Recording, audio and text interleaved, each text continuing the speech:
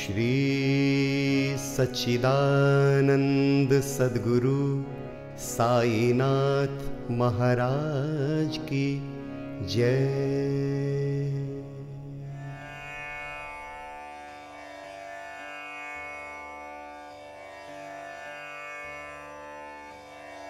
श्री साई सचरित्र अध्याय 20 श्री काका साहेब की नौकरानी द्वारा श्री दास गणों की समस्या का विलक्षण समाधान। अद्वितीय शिक्षा पद्धति, ईशोपनिषद की शिक्षा।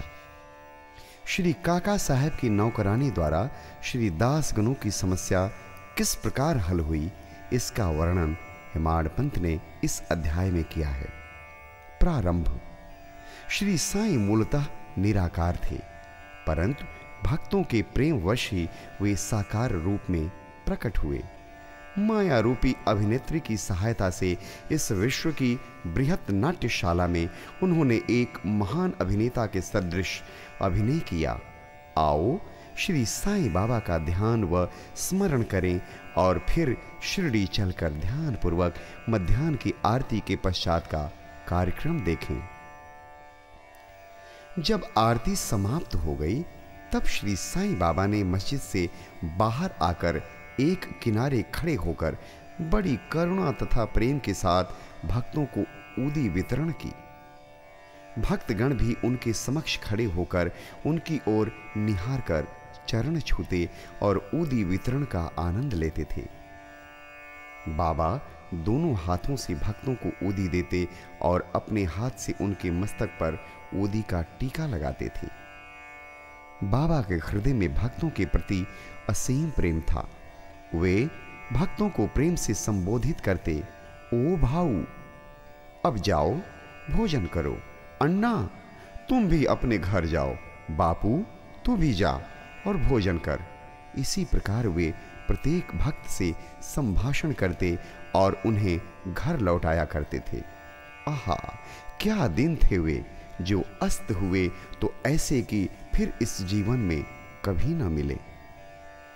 यदि तुम कल्पना करो तो अभी भी उस आनंद का अनुभव कर सकती हो। अब हम साई की आनंदमय मूर्ति का ध्यान कर नम्रता, प्रेम और आदर पूर्वक उनकी चरण वंदना कर इस अध्याय की कथा आरंभ करते हैं। ईशोपनिषद एक समय श्री दास गनु ने ईशोपनिषद पर टीका, ईशावास्य भावार्थ बोधनी लिखना प्रारंभ किया। वर्णन करने से पूर्व इस उपनिषद का संक्षिप्त परिचय भी देना आवश्यक है। इसमें वैदिक संहिता के मंत्रों का समावेश होने के कारण इसे मंत्रोपनिषद भी कहते हैं और साथ ही इसमें यजुर्वेद के अंतिम चालीसवें अध्याय का अंश सम्मिलित होने के कारण यह वाज सनेई, यजुह संहितोपनिषद के नाम से भी प्रसिद्ध है। वैदिक संहिता का समावेश होने के कारण इसे उन अन्य उपनिषदों की अपेक्षा श्रेष्ठतर माना जाता है, जो कि ब्राह्मण और आरण्यक अर्थात मंत्र और धर्म, इन विषयों के विवरणात्मक ग्रंथ की कोट में आते हैं। इतना ही नहीं अन्य उपनिषद तो केवल ईशोपनिषद में वर्णित गूढ़ तत्वों पर ही आधारित टीकाएँ हैं। पंडित सातवलेकर द्वारा रचित बृहदारण्यक उपनिषद एवं ईशोपनिषद की टीका प्रचलित टीकाओं में सबसे श्रेष्ठ मानी जाती है। प्रोफेसर आर डी रानाडे का कथन है कि ईशोपनिषद एक लघु उपनिषद होते हुए भी उसमें अनेक विषयों का समावेश है, जो एक असाधारण अंतर्दृष्टि प्रदान करता है। इसमें केवल 18 श्लोकों में ही आत्म तत्व वर्णन, एक आदर्श संत की जीवनी, जो आकर्षण और कष्टों के संसर्ग में भी अचल रहता है। कर्म योग के सिद्धांतों का प्रतिबिंब, जिसका बाद में सूत्रीकरण किया गया, तथा ज्ञान और कर्तव्य के पोषक तत्वों का वर्णन है। जिसके अंत में आदर्श, चमत्कारिक और आत्मा संबंधी गूढ़ तत्वों का संग्रह है। इस उपनिषद के संबंध में संक्षिप्त परिचय से स्पष्ट है कि इसका प्राकृत भाषा में वास्तविक अर्थ सहित अनुवाद करना कितना दुष्कर कार्य है। श्री दास गनु ने ओवी छंदों में अनुवाद तो किया, परंतु उसके सार तत्व को ग्रहण न कर सकने के कारण उन्हें अपने कार्य से संतोष न हुआ। इस प्रकार असंतुष्ट होकर उन्होंने कई अन्य विद्वानों से शंका निवारणार्थ परामर्श और वाद विवाद भी किया, परंतु समस्या पूर्ववत जटिल ही बनी रही और संतोषजनक भावार्थ करने में कोई भी सफल न हो सका। इसी कारण श्री दास गणु बहुत ही असंतुष्ट हुए। केवल सदगुरु ही अर्थ समझाने में समर्थ। यह उपनिषद वेदों का महान विवरणात्मक सार है। इस अस्त्र के प्रयोग से जन्म मरण का बंधन छिन्न भिन्न हो जाता है और मुक्त की प्राप्ति होती है। अतः श्री दास गणों को विचार आया कि जिसे आत्म साक्षात्कार हो चुका हो, केवल वही इस उपनिषद का वास्तविक अर्थ कर सकता है। जब कोई भी उनकी शंका का निवारण न कर सका तो उन्होंने शिरडी जाकर बाबा के दर्शन करने का निश्चय किया। जब उन्हें शिरडी जाने का शुभ अवसर प्राप्त हुआ तो उन्होंने बाबा से भेंट की और चरण वंदना करने के पश्चात उपनिषद में आई हुई कठिनाइयाँ उनके समक्ष रखकर उनसे हल करने की प्रार्थना की। श्री साईं बाबा ने आशीर्वाद देकर कहा कि चिंता करने की कोई आवश्यकता नहीं। उसमें कठिनाई ही क्या है? जब तुम लौटोगे तो विले पार्ला में काका दीक्षित की नौकरानी तुम्हारी शंका का निवारण कर देगी।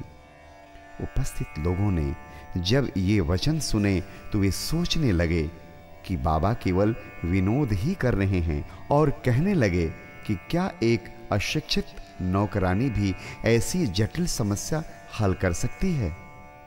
परंतु दास गणों को पूर्ण विश्वास था कि बाबा के वचन कभी असत्य नहीं हो सकते, क्योंकि बाबा के वचन तो साक्षात ब्रह्म वाक्य ही हैं। काका की नौकरानी, बाबा के वचनों में पूर्ण विश्वास कर वे शिरडी से विले पारला बंबई के उपनगर में पहुंचकर काका दीक्षित के यहाँ ठहरे। दूसरे दिन दासगणु सुबह की मीठी नींद का आनंद ले रहे थे।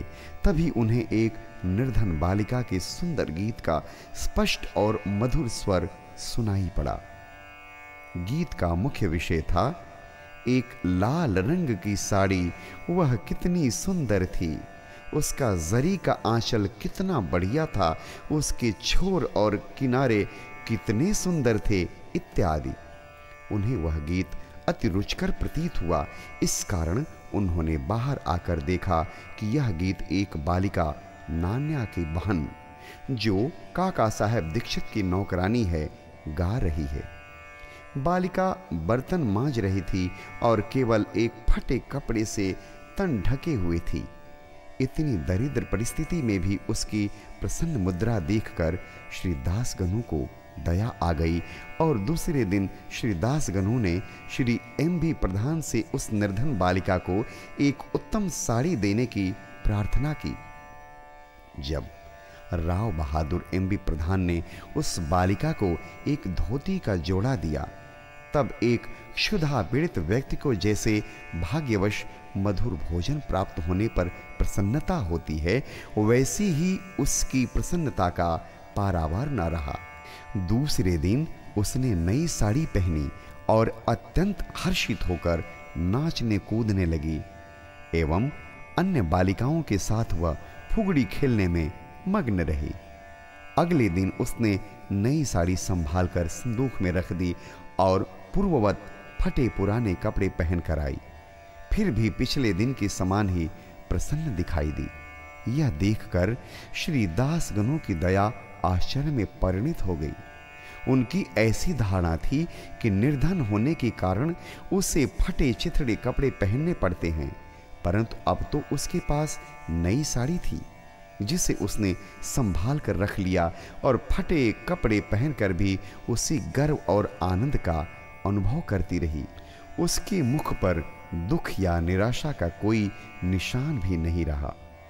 इस प्रकार उन्हें अनुभव हुआ कि दुख और सुख का अनुभव केवल मानसिक स्थिति पर निर्भर है। इस घटना पर गूढ़ विचार करने के पश्चात वे इस निष्कर्ष पर पहुँचे कि भगवान ने जो कुछ दिया है, उसी में समाधान वृत्ति रखनी चाहिए और यह निश्चय पूर्वक समझना चाहिए कि वह सब चराचर में व्याप्त है और जो भी स्थिति उसकी दया से प्राप्त है, वह अपने लिए अवश्य ही लाभप्रद होगी। इस विशिष्ट घटना में बालिका की निर्धनावस्था, उसके फटे पुराने कपड़े और नई साड़ी देने वाला तथा उसकी स्वीकृति देने वाला, ये सब ईश्वर द्वारा ही प्रेरित था। श्री दास को उपनिषद के पाठ की प्रत्यक्ष शिक्षा मिल गई, अर्थात जो कुछ अपने पास है, उसी में समाधान वृत्ति माननी चाहिए। सार यह है कि जो कुछ होता है सब उसी की इच्छा से नियंत्रित है। अतः उसी में संतुष्ट रहने में हमारा कल्याण है। अद्वितीय शिक्षा पद्धति। उपर्युक्त घटना से पाठकों को विदित होगा कि बाबा की पद्धति अद्वितीय और अपूर्व थी। बाबा शिरडी के बाहर कभी नहीं गए, परंतु फिर भी उन्होंने किसी को मच्छिंद्रगढ़, किसी को कोल्हापुर या सोलापुर साधनाओं के लिए भेजा। किसी को दिन में और किसी को रात्रि में दर्शन दिए। किसी को काम करते हुए तो किसी को निद्रावस्था में दर्शन दिए और उनकी इच्छाएँ पूर्ण की। भक्तों को शिक्षा देने के लिए उन्होंने कौन कौन सी युक्तियाँ काम में लाई, इसका वर्णन करना असंभव है।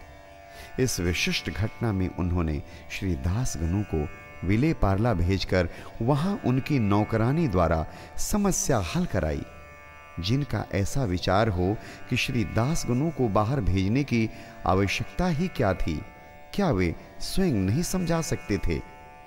उनसे मेरा कहना है कि बाबा ने उचित मार्ग ही अपनाया, अन्यथा श्री दास गनु किस प्रकार एक अमूल्य शिक्षा उस निर्धन नौकरानी व उसकी साड़ी द्वारा प्राप्त करते, जिसकी रचना स्वयं साई ने की थी? ईशोपनिषद की शिक्षा। ईशोपनिषद की मुख्य देन नीति शास्त्र संबंधी उपदेश है। हर्ष की बात है कि इस उपनिषद की नीति निश्चित रूप से आध्यात्मिक विषयों पर आधारित है, जिसका इसमें वृहत रूप से वर्णन किया गया है। उपनिषद का प्रारंभ ही यहीं से होता है कि समस्त वस्तुएँ ईश्वर से ओत-प्रोत हैं। यह आत्म विषय स्थिति का भी एक उप सिद्धांत है और जो नीति संबंधी उपदेश उससे ग्रहण करने योग्य है, वह यह है कि जो कुछ ईश कृपा से प्राप्त है, उसमें ही आनंद मानना चाहिए और दृढ़ भावना रखनी चाहिए कि ईश्वर ही सर्वशक्तिमान है और इसलिए जो कुछ उसने दिया है, वही हमारे लिए उपयुक्त है। यह भी उसमें प्राकृतिक रूप से वर्णित है कि पराय धन की, तृष्णा की प्रवृत्ति को रोकना चाहिए। सारांश यह है कि अपने पास जो कुछ है, उसी में संतुष्ट रहना, क्योंकि यही ईश्वर की इच्छा है।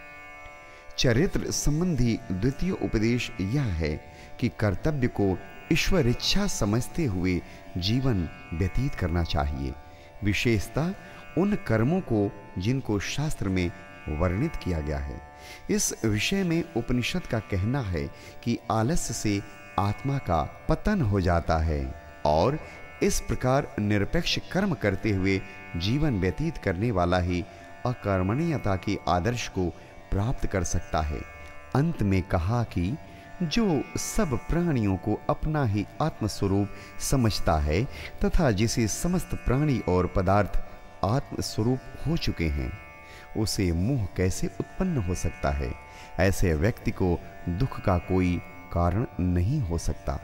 सर्वभूतों में आत्मदर्शन न कर सकने के कारण भिन्न भिन्न प्रकार के शोक, मोह और दुखों की वृद्धि होती है, जिसके लिए सब वस्तुएँ आत्मस्वरूप बन गई हों, वह अन्य सामान्य मनुष्यों का छिद्रान्वेषण क्यों करे? श्री सदगुरु साईनाथार्पण मस्तु शुभम भवतु।